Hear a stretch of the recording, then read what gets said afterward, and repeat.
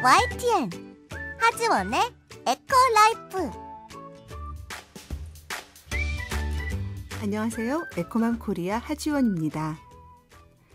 마트나 편의점에서 흔히 살 수 있는 생수, 제주도, 평창, 순창 등 청정 지역 출신부터 프랑스, 뉴질랜드, 남태평양, 피지섬 등 해외파까지 다양하죠.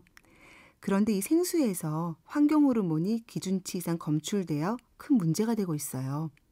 생수 자체는 문제가 없지만 생수를 담고 있는 페트병이 영향을 미친 거죠.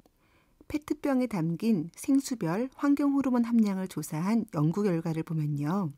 국내 생수 판매업체 서열 1위에서 5위까지 기준치 이상의 환경 호르몬이 검출되었습니다. 환경 호르몬이 기준치 이하라고 해도 페트병이 햇볕에 노출되거나 온도가 10도씨 이상 올라가면 바로 활성을 띠게 되어 환경 호르몬이 기준치를 뛰어넘게 되죠. 환경 호르몬이 우리 건강에 얼마나 치명적인지는 잘 알고 계시죠?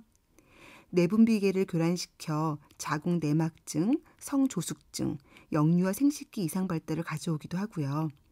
우리 몸속 경찰관인 면역의 백혈구를 따돌려 무력화시키고 차곡차곡 쌓여 바람의 원인이 되기도 합니다. 무심코 사먹는 생수 한 병, 무서운 환경 호르몬을 떠올리신다면 선택이 달라질 수도 있겠죠?